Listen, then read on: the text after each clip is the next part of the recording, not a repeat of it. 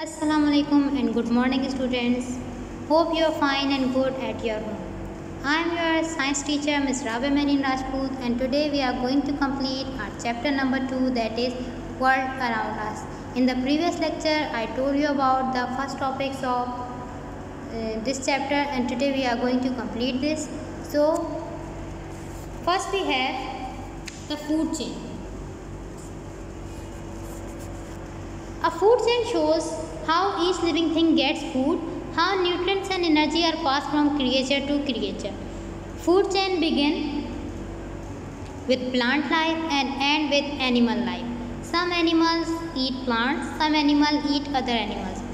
Food chain क्या है एक फ़ूड चेन लिविंग थिंग्स का शो करती है कनेक्शन के के एक क्रिएचर से दूसरे क्रिएचर के पास यानी एक लिविंग थिंग से दूसरे लिविंग थिंग के पास फ़ूड और न्यूट्रेंट और एनर्जी किस तरह से पास हो रही है? फ़ूड चेन हमेशा प्लांट से स्टार्ट होती है और एंड होती है एनिमल लाइफ पे। कुछ एनिमल्स प्लांट ईट करते हैं, कुछ एनिमल्स दूसरे एनिमल्स को ईट करते हैं। A simple food chain could start with grass which is eaten by rabbit and then the rabbit are eaten by foxes here I are giving you example कि एक simple food chain start होती है grass यानी कि plant से। उसके बाद rabbit जो है वो ग्रास को ईट करते हैं और फॉक्सेस जो हैं वो रैबिट को ईट करती हैं।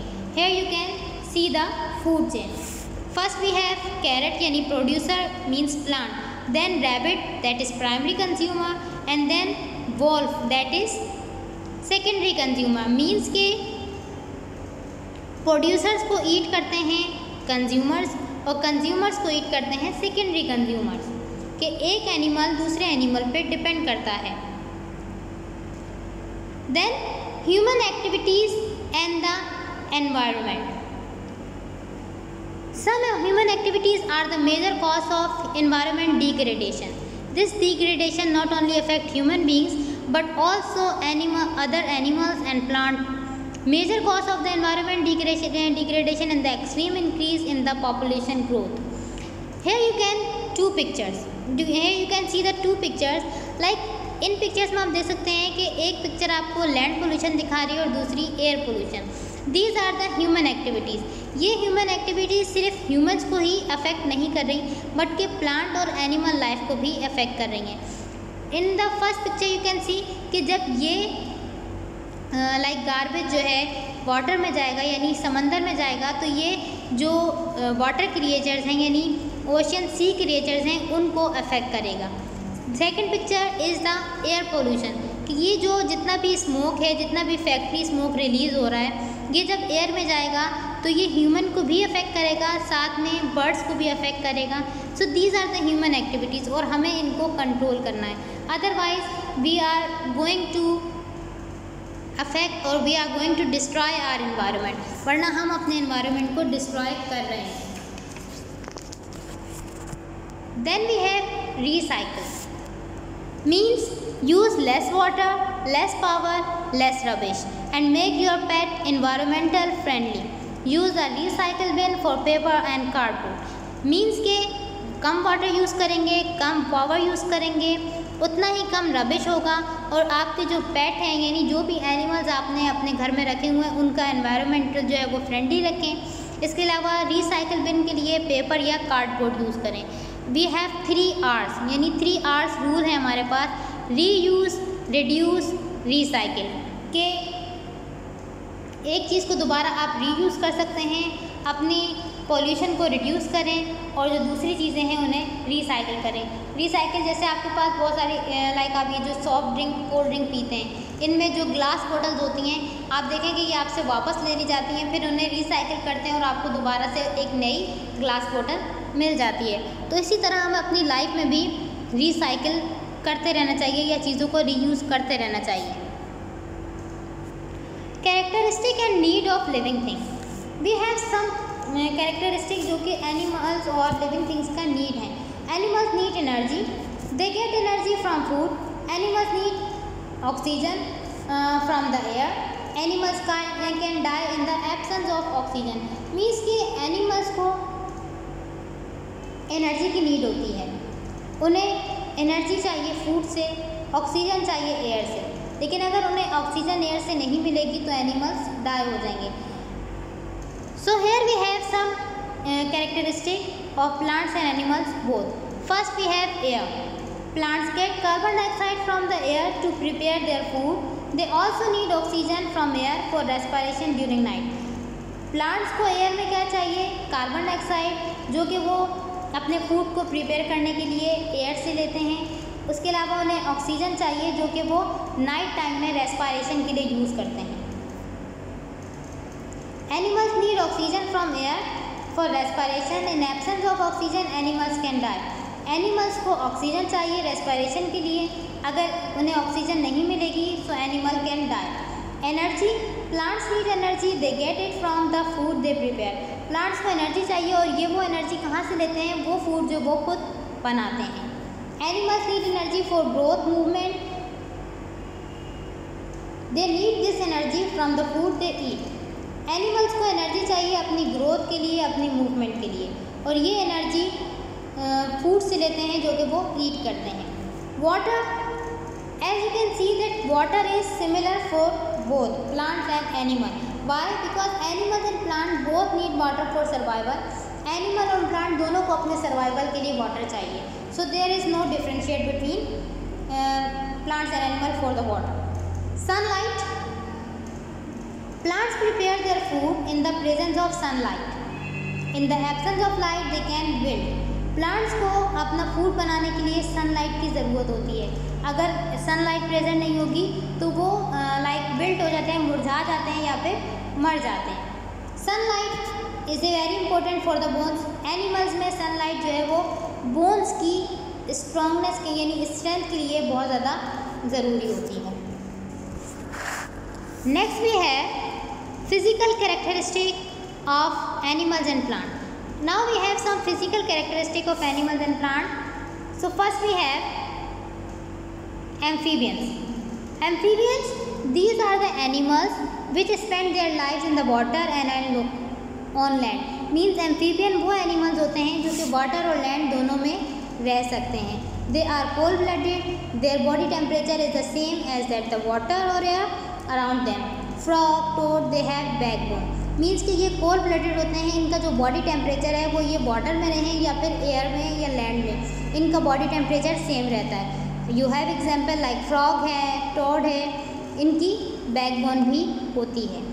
नेक्स्ट भी है mammals their body is covered by hair और fur they have a constant body temperature they have a backbone and produce milk human beings whales elephant means के मैमल्स की बॉडी हेयर और fur से cover होती है। इनकी body का एक कांस्टेंट टेम्परेचर होता है, इनकी बैकबोन भी होती है और ये मिल्क भी प्रोड्यूस करते हैं। Like human being whales and elephant number third is reptile their body is covered by scales they are whole blooded snake tortoise they have a backbone they mostly like hard shelled eggs और land reptiles की body जो है वो scale से, यानी उनकी body पे जो स्किन है, वो स्केल लाइक होती है स्केल से कवर होती है। ये कोल्ड ब्लडेड होते हैं लाइक आपके पास एग्जांपल है स्नैक है टॉर्टवाइज है, इनकी बैकबोन भी होती है और ये मोस्टली जो है वो हार्ट शेल एग को जो है वो ले करते हैं, यानी देते हैं online birds their body is covered by feathers they are warm blooded duck sparrow they have a backbone and they lay egg इनकी बॉडी जो है वो फीदर से कवर्ड होती है, ये वार्म ब्लडेड होते हैं like human being duck sparrow examples हैं और इनकी जो है वो बैकबोन भी होती है और ये एग भी ले करते हैं, यानी अंडे भी देते हैं then we have insects most of these are small air breathing animals. They have six legs and two antennae. They have three body sections, head, thorax, abdomen. Examples are spider, cockroaches, etc. Means के हमारे पास small breathing animals भी हैं जिन्हें हम insects कहते हैं। इनकी mostly six legs होती हैं और इनके टू एंटीना होते हैं। आई थिंक आपने आंट वगैरह देखी होगी। आंट है कॉकरोचेज हैं आपने देखा होगा कि उनके आगे टू एंटीना होते हैं। ओके इनकी बॉडी के थ्री सेक्शंस होते हैं head thorax and abdomen example है like spiders cockroaches as you can see the picture we have uh, many types of insects in this picture then we have spiders they are also termed as arachnids they have eight legs and eight eyes they spin webs spiders को arachnids भी कहते हैं अरैकनिड्स भी कहते हैं क्योंकि इनकी eight legs और एट आई होती हैं और ये वेब यानी कि जाल बनाती हैं the last is aquatic animals they mostly have gills they found in lakes and rivers some characteristic of plants include the root stem bud and leaves some plants में also have a flower most plants will share the same basic structure characteristic. मीन्स aquatic animal में fishes हैं और animals हैं तो उनके gills होते हैं. ये आपको लेक्स और रिवर्स में भी मिलेंगे इनके स्पेशल जो कैरेक्टरिस्टिक हैं वो ये कि इनके प्लांट्स में रूट स्टेम बर्ड और लीफ भी होते हैं सम प्लांट जो हैं, उनके फ्लावर्स भी होते हैं बट और कुछ प्लांट्स ऐसे हैं जो कि सेम बेसिक स्ट्रक्चर कैरेक्टरिस्टिक को शेयर करते हैं the last we have plant type and characteristic. Like we have two types of plant terrestrial and aquatic. Terrestrial plants share a few defining characteristics, structural as well as functional. Terrestrial plant में बहुत से defining characters हैं और structure भी जो कि वो share करते हैं। Perhaps the most basic structure of most plant is their division into shoots and root but जो मोस्ट इंपॉर्टेंट स्ट्रक्चर है वो क्या है? प्लांट्स की रूट और शूट में डिवीज़न यानी जब वो रूट और शूट में डिवाइड होते हैं। As you can see the picture in down we have root system और above we have shoot system so root system में क्या है कि हमारे पास प्राइमरी रूट है लेटरल रूट है और शूट सिस्टम में क्या है? हमारे पास लीफ है स्टेम है बर्ड है फ्लावर है, ये सारे इसके शूट सिस्टम है। सो प्लांट में क्या है कि हमारे पास प्लांट के टू टाइप्स हैं और सॉरी टू पार्ट्स हैं shoot system and root system the shoot includes all the aerial part structure such as stem leaf flower और food I already told you कि शूट में क्या आता है?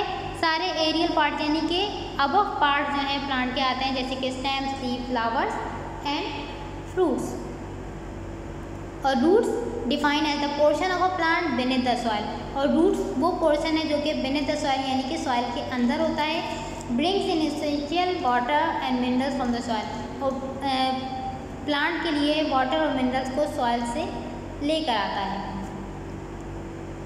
Thank you hope you can understand my lecture if you have any question you can ask we will meet in the next lecture till then stay home stay safe